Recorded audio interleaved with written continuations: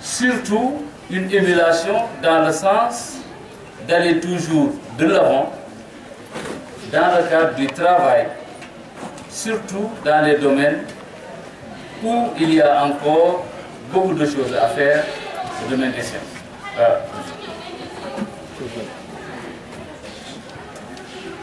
Euh, ceci étant, je pense, et nous, nous le saluons très fortement, en tant que aussi acteur de ce système éducatif, au moment où la promotion de l'enseignement des sciences et des disciplines scientifiques, au moment où les regards et les efforts sont tournés vers le renversement de la tendance notée. Ça a été relevé. Le censeur, le vous l'avez dit tout à l'heure,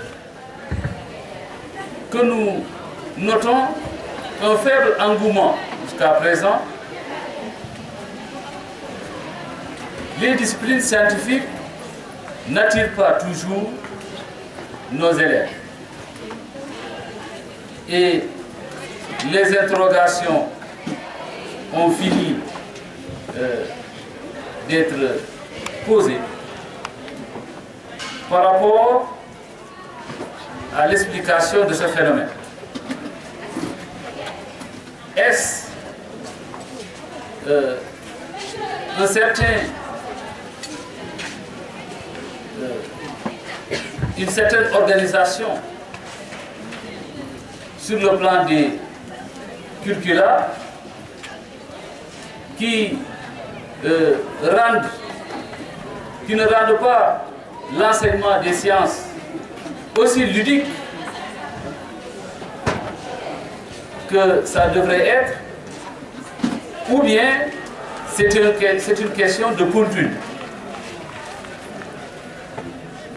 Aujourd'hui, les experts ont fini de démontrer que même si on peut parler de prédisposition pour recevoir euh, un certain type euh, d'enseignement, les experts ont fini de montrer que l'enseignement des sciences et les activités extramuros qui peuvent accompagner cet enseignement peuvent permettre euh, d'augmenter la fréquentation de ces classes. Mais c'est un travail qui ne doit pas commencer par la classe de seconde. C'est depuis le bas âge, depuis la case des tout petits, depuis l'élémentaire, que le travail de promotion des sciences doit commencer. Et ce travail doit être euh, soutenu par des instruments qui ne sont pas seulement les instruments classiques que nous utilisons jusqu'à présent. Aujourd'hui, nous pensons que pour enseigner les sciences, surtout les sciences fondamentales, il nous faut toujours l'équerre, la règle, le compas. Donc si nous pensons que c'est de cette manière seulement que nous devons pouvoir enseigner les disciplines fondamentales, comment on pourra donc enseigner ces disciplines fondamentales au niveau des petites classes, comme je l'ai dit? Mais si nous regardons autour de nous, nous voyons que dès que l'apprentissage est ludique, l'enfant s'approprie mieux même que l'adulte de, des progrès technologiques. Aujourd'hui, nos enfants manipulent nos portables et nos ordinateurs mieux que nous autres. Cela veut dire que nous devons nous interroger sur les formes d'apprentissage que nous devons utiliser pour permettre un bon apprentissage des disciplines scientifiques. C'est pourquoi, au-delà, parce que il est d'une évidence qu'aujourd'hui, les disciplines scientifiques, certes, n'attirent pas les élèves, mais cette désaffection est beaucoup plus marquée auprès des filles. Parce que souvent, on assimile l'apprentissage en, en sciences, mathématiques et autres comme un travail qui est réservé à euh, des gens qui n'ont pas le temps de s'occuper d'eux-mêmes.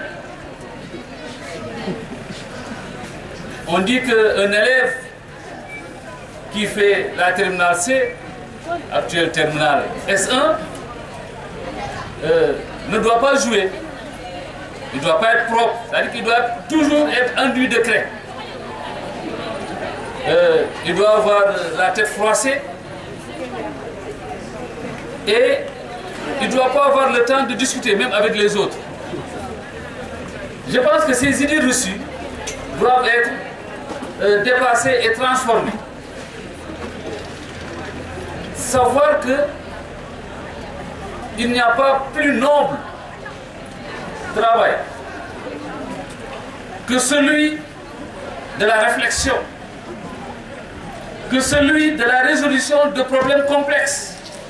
Parce que la vie est, un, est une succession d'équations qu'il faut résoudre tout au long de la vie pour arriver à devenir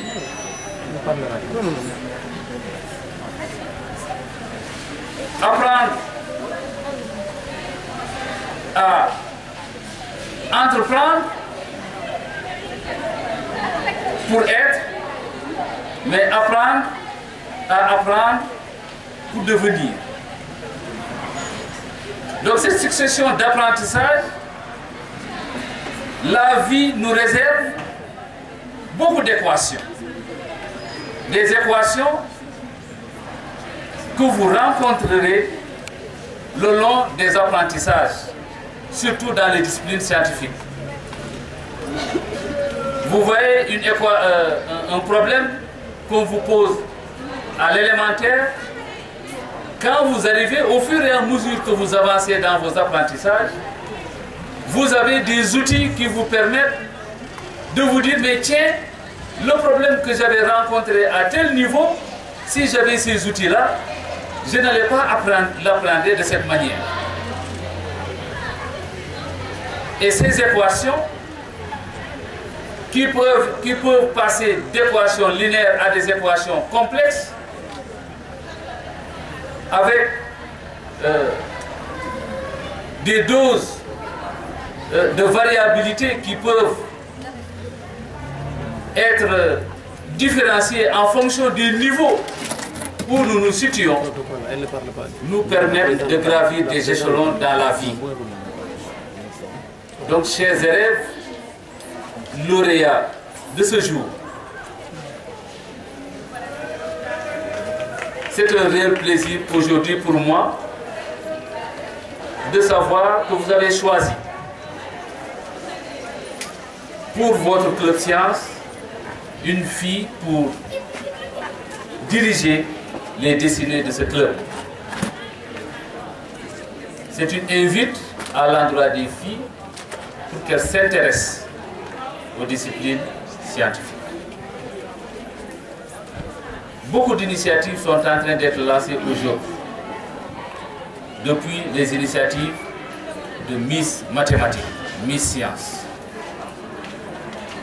Pour montrer que la beauté féminine peut être célébrée à travers les mathématiques, les sciences, la technologie. J'en passe.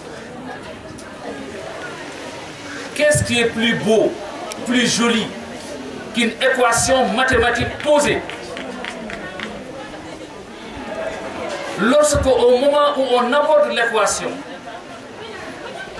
on n'a pas une idée sur la solution de cette équation, et que la réflexion profonde que nous lançons en regardant ces formules nous amène d'essais virtuels, des essais qu'on ne, peut pas, toucher, parce que c'est dans l'espace qu'on essaie de chercher une solution. Et que d'essai à essai, on parvient enfin à trouver une solution qui, lorsqu'on la teste dans l'équation, on trouve l'égalité parfaite qu'on était en train de résoudre. Je pense que c'est une beauté. Et cette beauté mérite d'être célébrée. C'est cette beauté-là qui est plus légendaire, plus magnifique que la beauté physique qui est célébrée durant les concours de Miss Univers.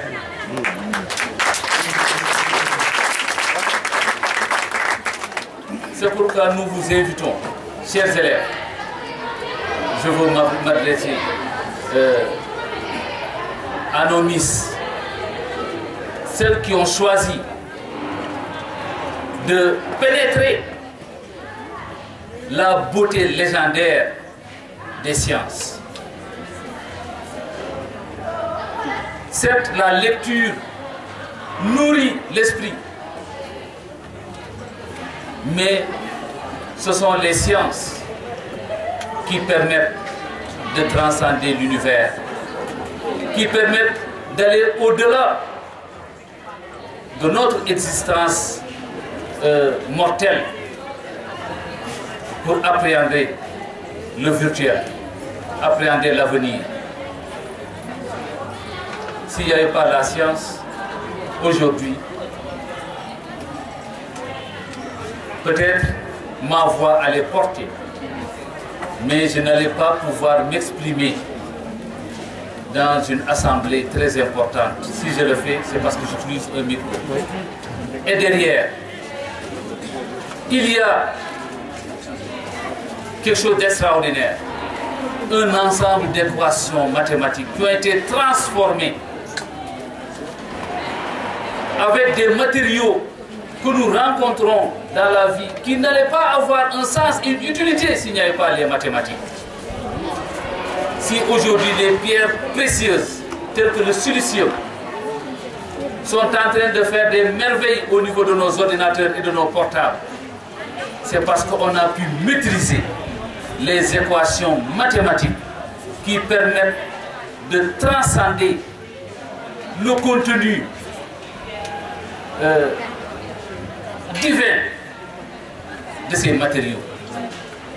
C'est un souffle divin qui nous entoure à travers ces matériaux, ces pierres précieuses, ces arts et autres.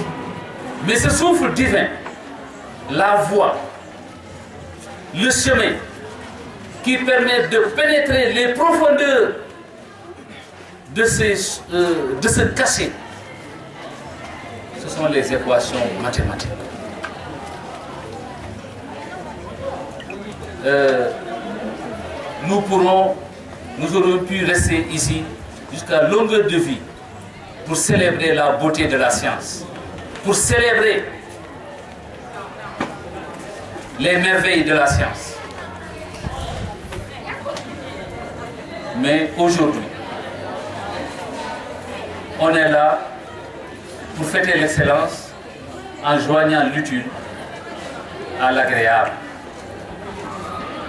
Pour nous, quel que soit notre engagement ailleurs, l'honneur que vous nous faites de venir assister à une cérémonie de ce type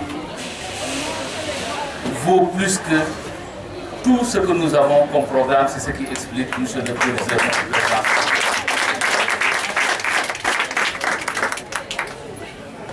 Euh, nous ne nous attendions pas à quelque chose d'extraordinaire quand nous venons aujourd'hui.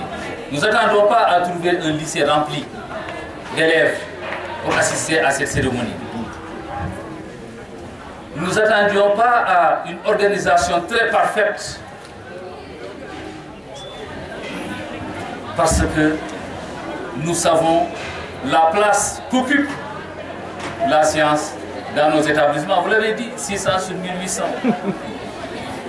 C'est moins de 50%. Je ne sais pas s'il y a toujours la terminale C, euh, S1 actuellement. Avec 9 élèves. Voilà. Nous, lorsqu'on était là, on était 14 déjà. On était 14, il y avait une seule terminale dans euh, toute la région de Ziguinchor. Toute la région de Ziguinchor, il y avait une seule terminale qui enseignait euh, l'équivalent de la terminale S1 aujourd'hui. Dans toute la région de Ziguinchor. Et on était 14. On a d'un peu partout. Aujourd'hui encore, dans tous les établissements, vous avez combien de terminales sur le proviseur? 20 terminales. 20 terminales. Sur les 20 terminales, une seule terminale S1 de 20 élèves. Combien d'élèves de terminale globalement? 850. Sur 850 élèves de terminale, Il n'y a que 9 qui font S1. vous n'avez que 9 qui font S1. 9 sur 800. Le pourcentage est très élevé, très très très très faible. Et c'est vraiment très déplorable pour un pays euh, qui veut émerger. Donc nous avons beaucoup, beaucoup, beaucoup à faire pour renverser la tendance. C'est pourquoi j'ai dit, nous, en venant, puisque nous savions que c'est une activité scientifique, on s'attendait à avoir 20, 30, à l'image de ceux qui s'intéressent aux sciences. Euh, nous saluons les jeunes, les plus jeunes, en disant que vous avez beaucoup euh, à gagner dans ces séries. La preuve, nous sommes passés par ces séries-là, ça ne nous a pas empêché vraiment euh, d'être un peu partout. Quand vous avez des bases solides en mathématiques, en sciences physiques, en sciences de la vie et de la terre, comme son nom l'indique, vous vous adaptez à toutes les situations. Et vous pouvez occuper euh, toutes les fonctions dans cette vie. J'étais professeur de mathématiques. Ça ne m'a pas empêché de faire les banques et la finance après. Et euh, ça ne m'a pas empêché aussi de faire la politique d'être maire. Et je continue de faire autre chose. Parce que tout simplement, je suis passé par les sciences. Euh, de notre temps, et nous invitons vraiment les sciences à faire de cela vraiment un sacerdoce, nous pensions que faire quelque chose de difficile, c'était un sacerdoce. Mais aujourd'hui, on a euh, assisté, à partir d'une certaine période, à une dépravation euh, de, euh, de- vraiment de l'enseignement qui fait qu'on encourage un peu ce qui est beaucoup plus euh, euh, ce qui nécessite moins d'efforts à ce qui nécessite un effort. Bon, je ne voudrais pas mettre l'accent quand je parle, vous voyez, je ne suis pas à l'aise en parlant d'effort. C'est parce que tout simplement, je ne veux pas qu'on assimile l'enseignement des sciences comme, ou l'apprentissage des sciences comme quelque chose qui mérite qu'on fasse des efforts. Non, ça mérite juste qu'on se consacre. Comme on consacrerait son temps à autre chose. Moi, je pense aujourd'hui qu'il est plus difficile de s'amuser que d'apprendre les sciences. Je vous remercie.